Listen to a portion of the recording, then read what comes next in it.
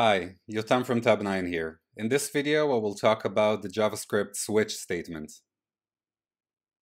A switch statement, also known as switch case, is a form of a conditional statement. It will execute a code block if a certain condition is met. Now let's see this in action. But before we start, go to your extensions tab and search for Tabnine. This is an actual AI auto-completion tool that will become very handy, and you will see why in a moment. Now let's say that I have an online shop, and today I have a special offer. Buy three items, get one more item for free. I want to let my clients know about the special offer before they check out, and I want to display a specific message on their screen depending on how many items they currently have in their shopping cart. So the variable items in cart represents the shopping cart, and the client that we're dealing with right now has two items there.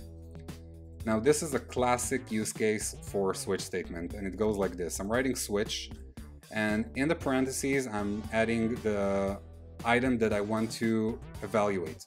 So in this case it will be the items in cart and you see how Tabnine auto completes exactly what I need. That's true, I'm just hitting tab and I'm going forward. Now I'm adding cases.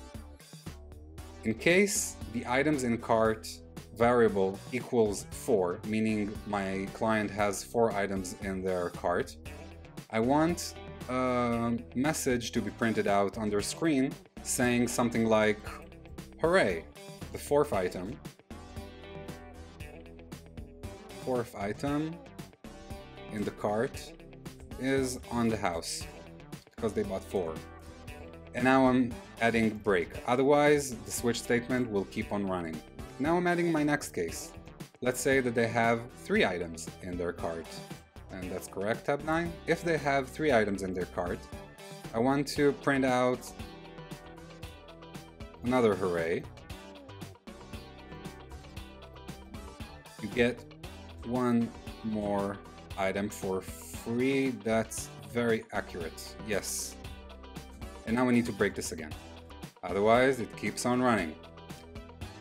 But now I want to print out same, the same message to the customer in case they have one or two items. So I can add two cases one by one. One will be two, and the other one will be one.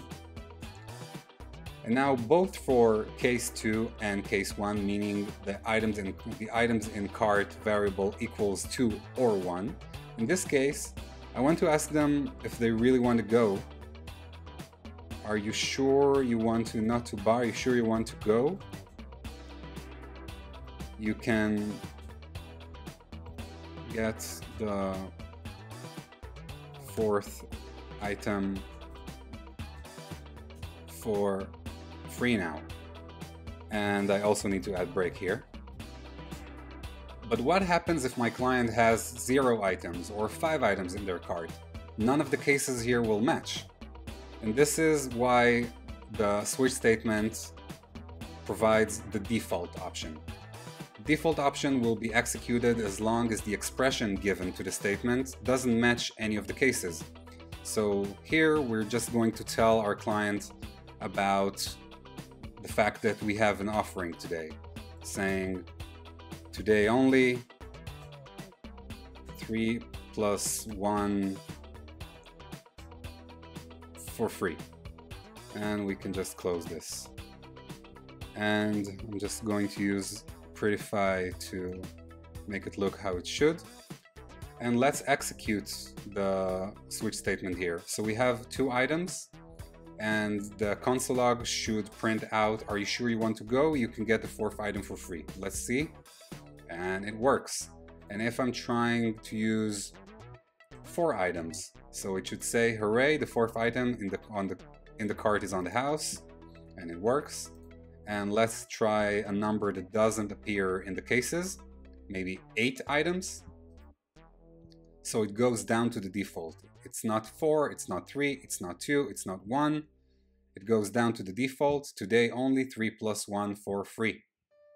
So this was just the tip of the iceberg. There's so much more you can learn about switch statement and I encourage you to go out there and read and practice it and try to create your own switch statements.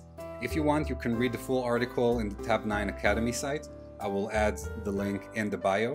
And until then, thanks for watching. Bye bye.